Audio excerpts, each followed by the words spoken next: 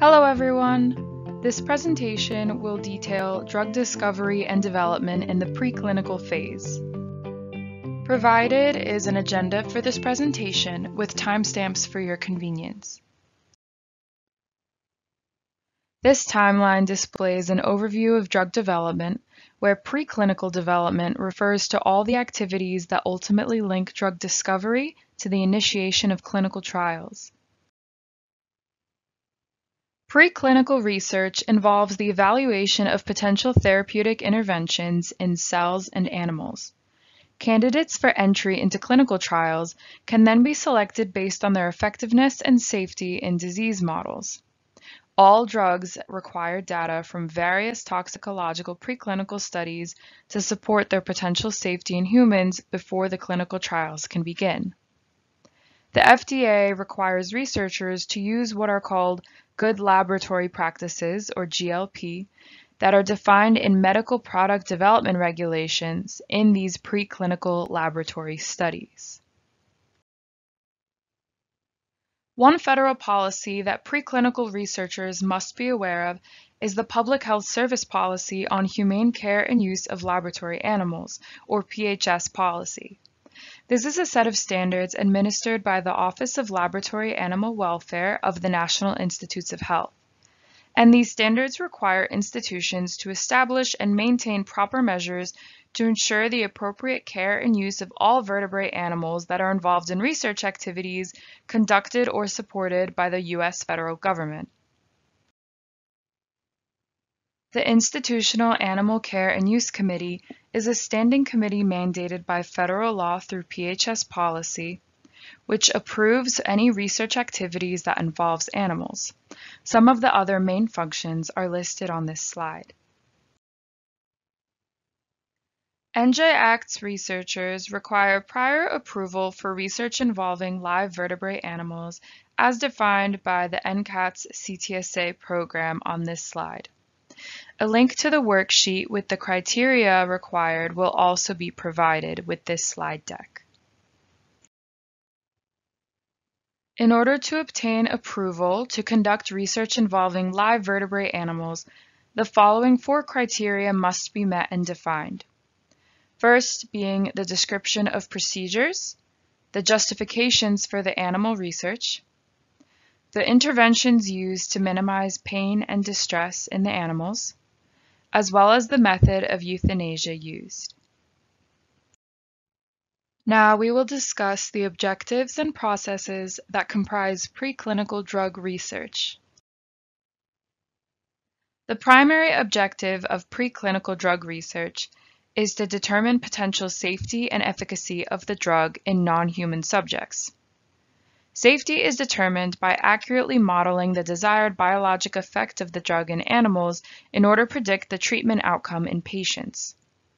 Efficacy is determined by identifying and characterizing toxicities that are associated with the drug, and this is designed to predict adverse events in people for an informed risk assessment.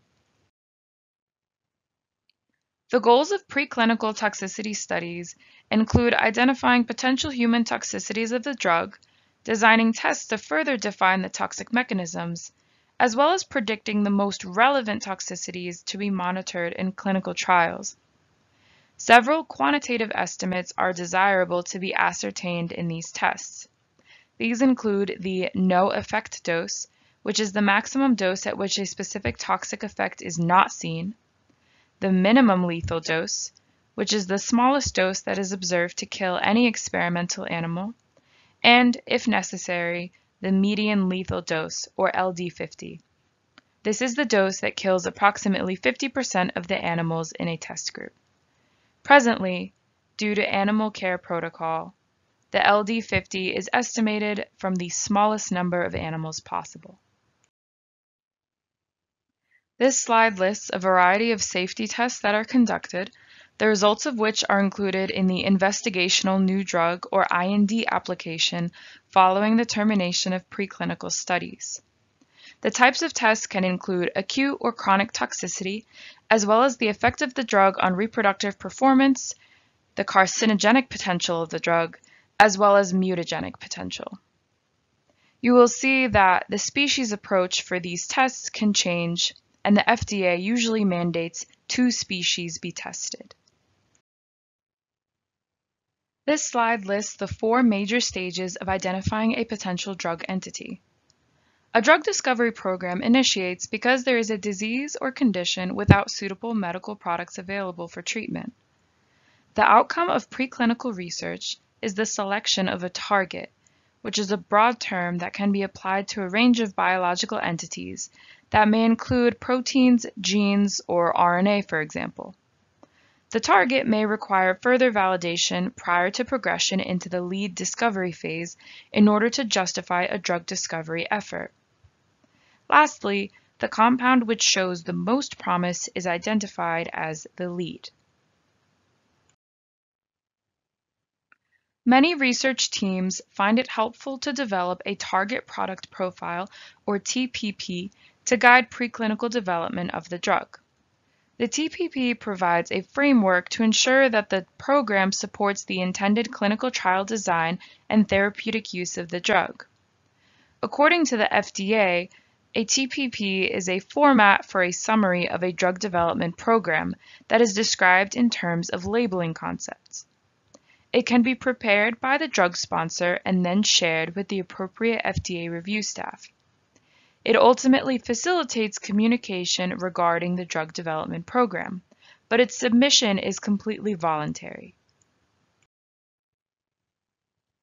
This slide lists the contents that may be included in a TPP, notably the pharmacology, toxicology, and other pharmacokinetic preclinical studies, as well as a well-characterized route for the drug that is aligned with the route of administration to be used in animal studies.